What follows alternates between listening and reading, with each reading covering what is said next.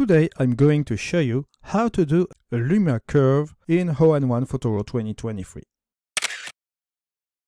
First I'm going to open my shadows just a bit like this and open my midtones just like that. I'm going to down my highlights just to keep a little bit of details in my highlights. I'm going to down a bit my exposure, just a bit like this. Maybe play down with my shadows, just like this, to keep this idea of my picture. I'm going to increase a little bit my midtones, just like this.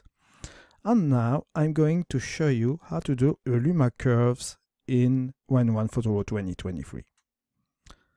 First, what I'm going to do is to go to my FX tab, just like this, and I'm going to add a filter. I'm going to add the curves.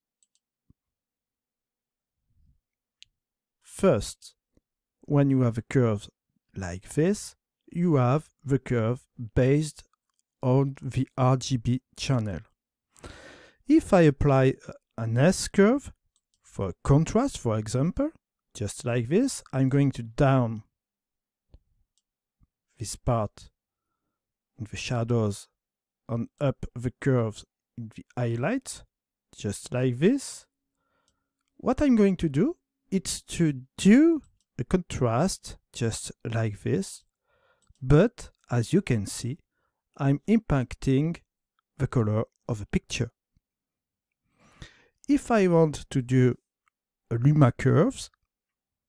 A Luma is a curve when I want to apply only the tonality of a picture without impacting my colors. I'm going to show you. I can go just here to the mechanic wheel, just there, and I can choose a blending mode just there. I can select my mode, what I can do is to change to the luminosity just like this. And as you can see, if I do the before and the after, I'm adjusting the contrast of a picture without impacting the colors. Why? Because of the fusion mode in the curves filter. As you may know, each filters in ON1 Photo RAW is like an effect filter on a layer. That's why we have an opacity slider, just like this. We put the filter on the picture. That's why we can play with the luminosity mode, just there. And we can do a Luma curve all you can do now on this curve, as you can see, you are only impacting the tonality or the contrast inside the picture without changing the color.